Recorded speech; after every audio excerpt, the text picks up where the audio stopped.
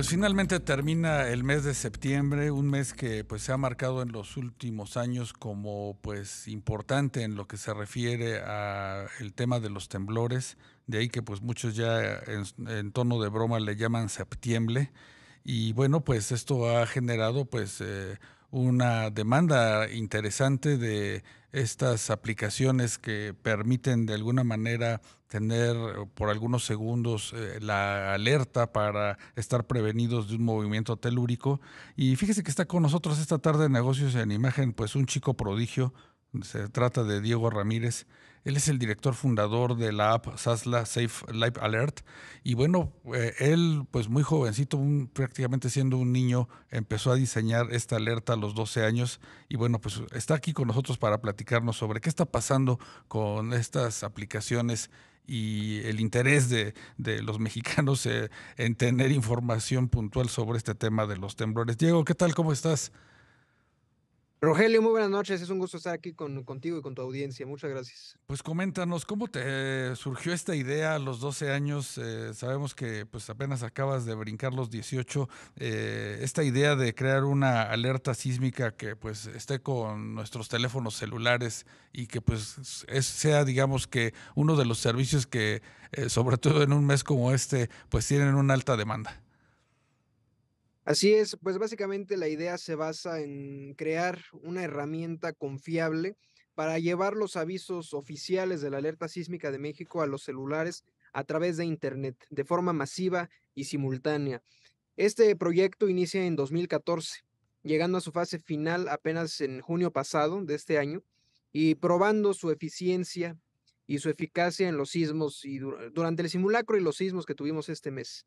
Entonces se vio el impacto de cómo una herramienta que está correctamente estructurada y en, un correcto funcionamiento, a la gente le, resultó eh, bastante confiable y sobre todo lo más importante que es en este que es en este tipo de herramientas que debe ser simultánea la difusión.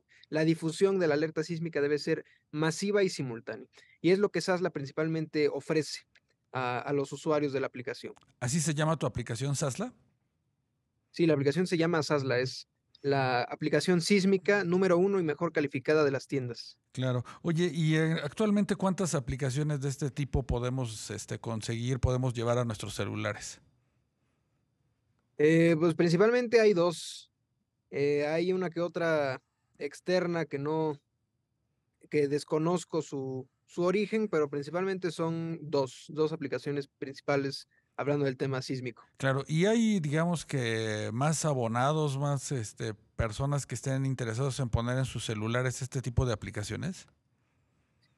Pues como tú lo mencionas, la gente tiene esa creencia de que septiembre es el mes de los sismos. Ya después de tantas coincidencias que tuvimos en años pasados y en este también, en septiembre hay un crecimiento muy importante de usuarios Después del sismo también hubo otro, otra alza en, la en las instalaciones, pero sí, efectivamente, nosotros registramos este mes un incremento muy importante de usuarios y un interés en el tema sísmico nuevamente eh, por parte de los usuarios. Claro, como tú mencionas, Diego, esta aplicación va de la mano de las alertas que se generan desde el servicio sismológico.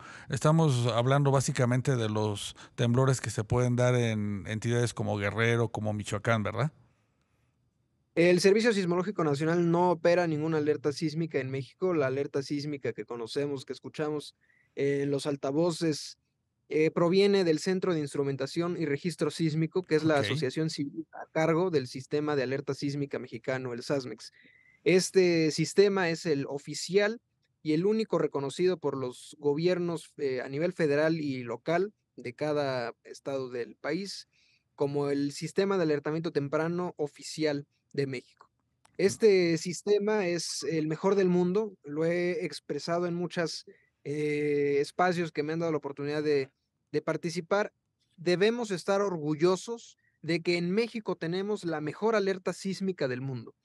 Y teniendo este sistema, nuestros esfuerzos son cómo llevar esa señal eh, que puede salvar vidas a más personas, ¿sí? Porque no todos escuchamos las bocinas de, de los altavoces, no todos tenemos un radioreceptor multialerta. Claro. Entonces, en Sasla lo que hacemos es el, los esfuerzos para llevar la alerta sísmica de manera confiable a todos los teléfonos de manera pública y completamente gratuita.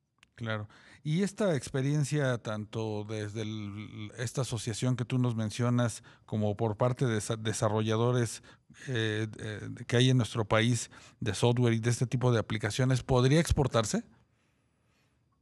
Eh, como tal, el sistema oficial que tenemos en México está diseñado específicamente para, para nuestro país.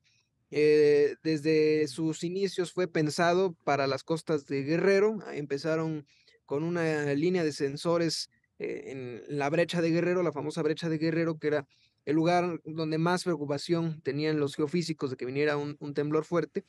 Y después se fue expandiendo a más eh, territorio mexicano, pero al ser financiado por el gobierno de la Ciudad de México y ser el sistema de alerta sísmica mexicano, pues ellos no, no están ahorita interesados en abarcar otros países, más bien su principal interés es ampliar la cobertura de detección sísmica aquí mismo en México eh, para llevarlo a la zona de Chiapas, a la zona de Veracruz y, y sobre todo ampliar la difusión, tanto la detección, es decir, agregar más sensores a su red oficial, pero también la difusión. Actualmente solo se alertan a ciudades principales Estamos hablando de Acapulco, Chilpancingo, Oaxaca, Morelia, Cuernavaca, Puebla y Ciudad de México.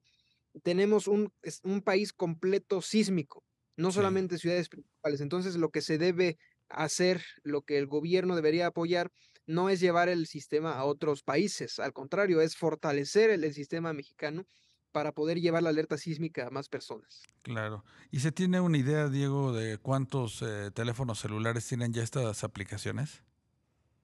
Eh, SASLA es la única que está conectada al sistema oficial. Eh, retransmitimos la, alerta oficial mm, como un esfuerzo eh, externo, ¿sí? Y actualmente más de 3.7 millones de usuarios están usando SASLA y nosotros garantizamos que cuando se emita una alerta, nosotros vamos a hacer el trabajo de retransmitirla y difundirla en menos de dos segundos de forma masiva, simultánea sin retrasos. Eso es lo más importante, que este aviso no debe tener retraso, debe ser simultáneo a todos los usuarios dentro de un área de riesgo. Claro, y vimos que, pues, sobre todo en este reciente sismo del 19 de septiembre pasado, pues funcionó muy bien, no solamente en estos altavoces, sino que, pues, muchas personas que tienen en su celular estas aplicaciones, pues, pudieron salir con calma de sus casas para, o de donde estuvieran en algún edificio público para, pues, estar, digamos que resguardándose ante este movimiento telúrico. Diego Ramírez, director y fundador de APSAS, la gracias por acompañarnos esta tarde, que tengas un magnífico fin de semana y muchas felicidades por ser, digamos que, un emprendedor, un joven inquieto en este tema de las aplicaciones. Muchas gracias por la invitación y por sus palabras. Que tenga buen día. Y bueno, pues se acaba.